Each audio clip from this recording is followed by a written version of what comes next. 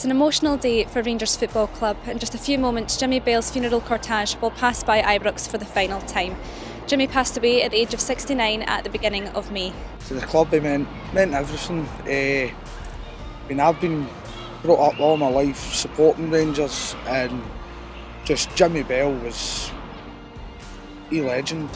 Jimmy spent 40 years at the football club. In his early years, he drove the team buses for players such as Alan McCoist, Ian Durrant, and Derek Johnstone before taking on the role of kitman that he had for 30 years. I feel like he, made, was a father to the club. He was an inspiration, I feel like, to the club. He's, I feel like he's going to be a big loss to the club. Um, he's going to be remembered today. I think all the fans will come out in their thousands just to celebrate his life and obviously celebrate him and himself. So Throughout the week of his passing, hundreds of football fans took to social media to share their sadness, as did many former and current Rangers players.